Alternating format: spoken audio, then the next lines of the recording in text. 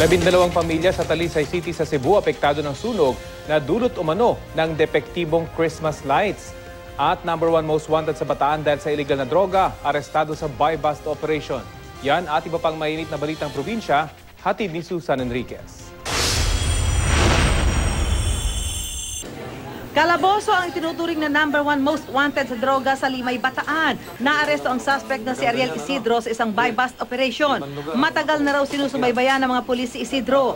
Nasamsam ng mga pulis mula sa kanya ang tatlong sachet ng Cebu, kalibre 45 baril at ang marked money na ginamit sa operasyon. Inihahanda na ng mga pulis ang kaso laban sa suspect.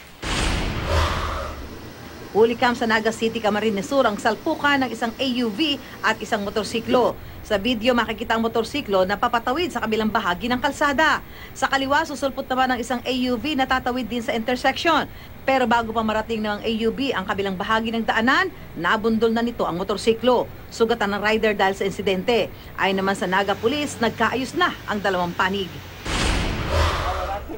Labindalawang pamilya ang nawala ng tirahan sa sunog sa barangay Kansohong, Talisay City, Cebu. Mabilis na kumalat ang apoy na hinihinalang nagsimula dahil umano sa depektibong Christmas lights. Halos walang naisalbang gamit ang mga residente.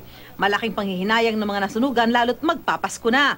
Ang isa sa mga nasunugan, labis ang hinagpis dahil nangyari ang sunog sa bisperas pa naman ng kanyang kaarawan. Tinatayang aabot sa 200,000 piso ang halaga ng ari-ari ang naabot sa insidente. Patuloy ang investigasyon ng Bureau of Fire Protection kung substandard ba ang Christmas lights na itinuturong sanhi ng apoy. Susan Enriquez, GMA News.